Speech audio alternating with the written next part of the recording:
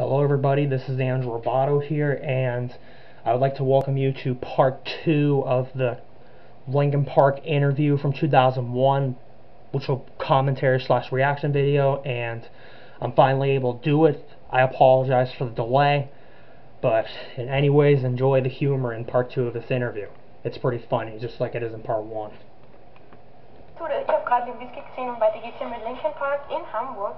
So, what's And as usual, they're smiling because she's speaking another language. coming up next? There is this Deftones tour. Yeah. That's well, uh, we're going to be in Europe for the whole month of March with the Deftones and I believe Taproot. Um, all the dates for those shows I know will be on our website, which is linkinpark.com. And really, this week's been our first introduction to uh, playing Europe, and we're really excited Every tour for Linkin Park was on the website. That's a fun fact.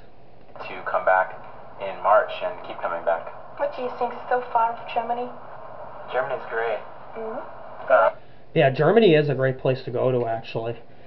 I've actually seen pictures of it. And my mom and my sister actually went there. We, we, just did, we did a couple days in, in Paris, and we've only been in Germany for about just six, six. Paris is another cool place, actually. I've never been there. And I've, in fact, I've actually never been to Italy or Germany. I haven't been to any other country aside from America. That's that's a fun fact about me. eight hours, but Ah, yeah. and we've been in this building the entire time. okay, this building's great. Not sure. So, so the view. Of course, this is a great building. I mean, seriously, the view. I- I'm so glad they put us in this building because the view. We've we've seen the entire all of Hamburg from this one room, That's pretty cool, actually. this one building, and it's it's really incredible. And so mm. far, our experience with German McDonald's has been Zupa. Super.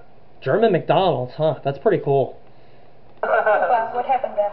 That we had Super. McDonald's. Yeah, we finally have. Nice. I all this McDonald's talk's making me hungry for McDonald's because I love McDonald's. I've been eating that since I was a kid, actually. So yeah. American. Also in Deutschland gefällt es ihnen, bei McDonalds gefällt es ihnen, sie hatten einfach nur ein paar Burger. Ähm, Once again, they're smiling when the interviewer speaks in a different language, just like in part one.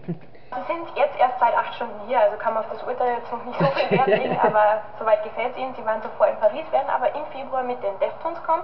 And any personal wishes, anything like... No more fromage. I have mad cards. I have mad cat disease. okay, we finally hear Joe Hahn talking in part two of this interview. He didn't really say much in part one, and so far, Rob Bourdon hasn't really said much either. The only thing he did in part one in the interview, which I forgot to point out, is that um, after Brad Delson pointed at him saying don't address any questions to him, Rob Bourdon gave Joe Hahn the bunny ears. That was really funny of you, Rob. I have mad cow disease. Really, you do have mad cat disease. How does it look like? Yeah, start screaming or... like I don't Like,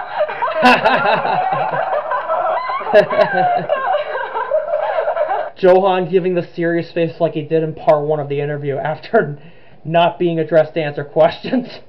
if you look right there, that's Chester laughing. His his the picture of his laughter is so funny every time he pauses the video. Death stare.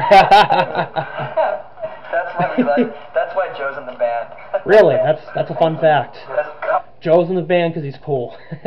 comic relief. That's the only reason. Comic relief. Comic relief. what should you? Like the Grammy. Yeah, we, we're gonna win um, every category in the Grammys. Uh, including Best Country Artist. we're also Even though we're we're also not gonna have best, um, Chester's gonna win best female artist. yeah, I'm gonna win. Yeah, I'm gonna win best the, solo female artist. Yeah, and uh, also Best solo female artist. Good one, Mike. uh, we're gonna we're gonna take over uh, every music video um, station in the entire planet. Mhm. Good for you, Chester. You've pretty much taken over every single music station during your time in the band. and uh, they will play uh, Oh, sorry. Um, strictly Linkin Park. I apologize for the pause. There was actually um, somehow this video is buffering, so I apologize for that.